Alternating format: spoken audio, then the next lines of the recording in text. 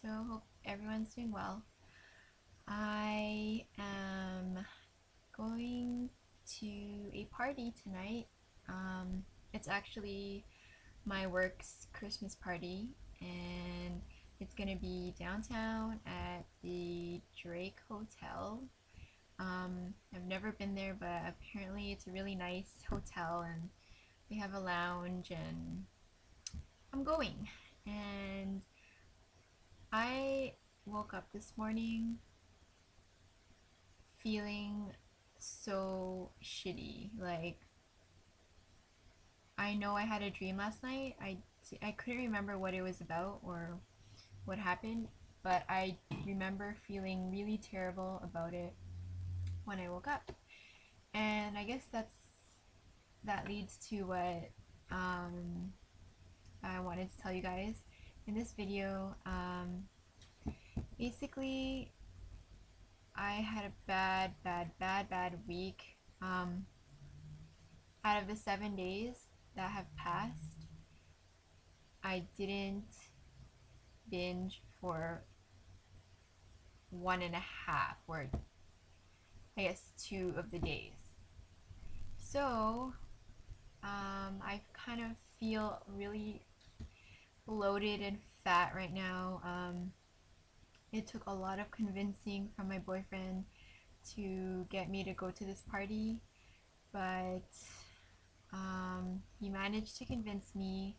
But like as I said, when I woke up, I felt like complete crap because um, of my dream, probably, but also because I woke up knowing that I had just felt so blah like that like last night I came home from my sister's place. I finally saw her in her fiance's new house and they cooked me dinner and we played some games and I was perfectly fine. I was enjoying myself, but when I got home, uh, don't know what got into me again, but I went to the cupboard,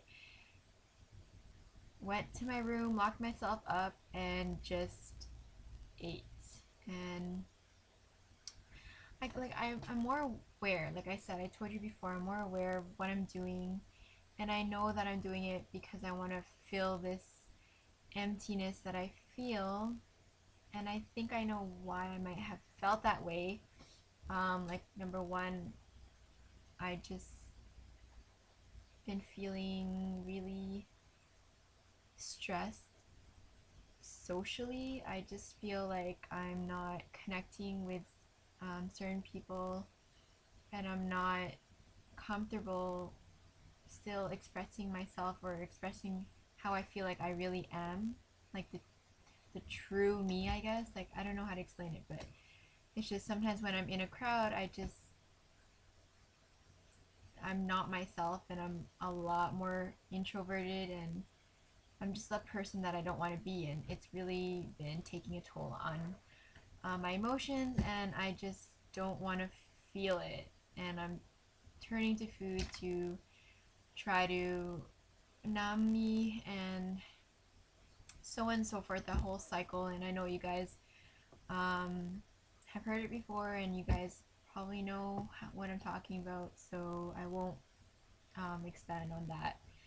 But yeah so um, but I talked my boyfriend about um, what's been going on because I haven't told him about these binge binging episodes that's been going on for the past week but I finally told him today when I woke up feeling really crap and he talked me through it and I told him that I just feel completely alone like no one can at least none of the people that I know can truly say that they know how I feel or or can really comfort me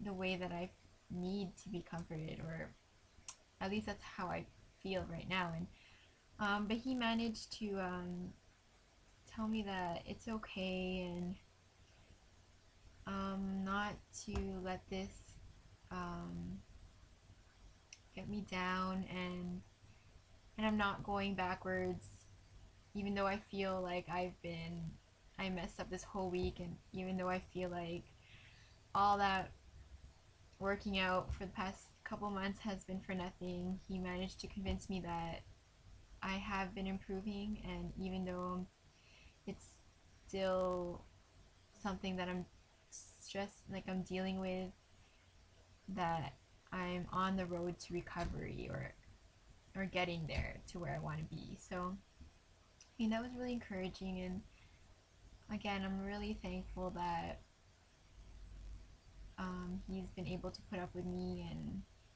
um, still has uh, like stuff to tell me that really um, that works that comforts me I guess and so ever since I had that talk with him earlier I've come to my point where I want to continue again um, on my journey of trying to uh, be comfortable with food and have that healthy relationship with food and not be afraid um, of of food basically and being in social situations um, because of my problem with it. So yeah, um, so that's what's been going on and I know I was gonna I know I told you guys I was gonna read you guys another passage from that book I've been reading, but um, I don't have time for that tonight.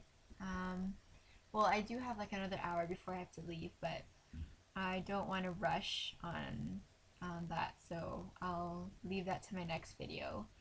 Um, so I don't know. I guess for tonight, I'm just really hoping I could have a good time and um, not be afraid to just be out there and and not you know stay in one corner or stay with my boyfriend and not talk and blah blah blah all that stuff. And uh, it's really like I feel like a lot of times I self sabotage like I'm self sabotaging like like for example when I'm in a binge I'll I'll open the cupboard and I'll be like okay I shouldn't be reaching out for that box of cookies or that box of cereal or whatever it is.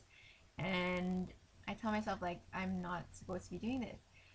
But then a little voice like those voices those angry or those just bad voices in my head that are almost there like that are there 24 7 they tell me but you could do whatever you want. If you want to eat that whole box of cookies then do it. No one's no one can tell you you can't do you can't do it so just do it right? And i like i kind of have this role play in my head that causes me to go into that